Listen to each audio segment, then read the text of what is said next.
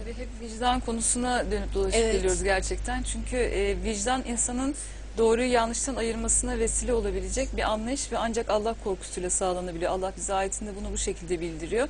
Vicdanı da hayatımızın her konusunda, e, her noktasında muhakkak e, karşılaşabileceğimiz olayları görüyoruz. Çünkü vicdan öyle bir şey ki mesela bir yazı yazarken yazıyı vicdanı kullanarak yazmak vardır. Bir de vicdanı devreden çıkararak veya vicdanı sadece belirli noktalarda kullanarak yazmak vardır. Siz o yazıya her kim olursa olsun vicdanı kullanan veya kullanmayan bir insan bile olsa o yazının nasıl yazılması gerektiğini bakar bakmaz hemen anlar. Mesela siz bir tarif yapacaksanız, bir sevdiğiniz insanın tarifini yapacaksınız. Onu vicdanınızı kullanarak anlattığınızda öncelikli olarak en güzel yönlerini ön plana çıkarmak istersiniz.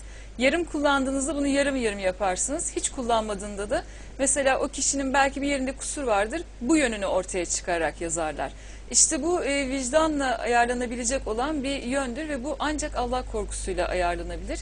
Bugün de günümüzde şu an hem sosyal medyada hem internette yazılan yazılara baktığımızda vicdanın birçok kişi tarafından aslında gereği gibi kullanılmadığını görüyoruz. Mesela hem e, karşıdaki kişi aşağılama yönelik ifadeler veya sevgi eksikliği içeren ifadeler, bir tarifi yapabilecekken doğrusunu görüp doğrusunu çarpıtarak verilen ifadeler bunlara sık sık rastlıyoruz. O yüzden de işte insanlar arasında kutuplaşmaya, ayrılıklara sebebiyet veren ifadeler de aslında bunlardan kaynaklanıyor. Halbuki sevgi dili bütün insanların arasındaki sorunları kaldırabilecek bir dildir.